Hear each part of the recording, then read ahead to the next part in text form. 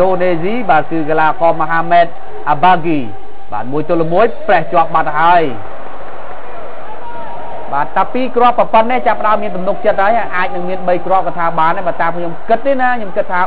4-0ឬក៏5-1ឱកាសរបស់មីយ៉ាន់ម៉ាមិនបានសម្រេចទេបើចេញទៅខាងក្រៅ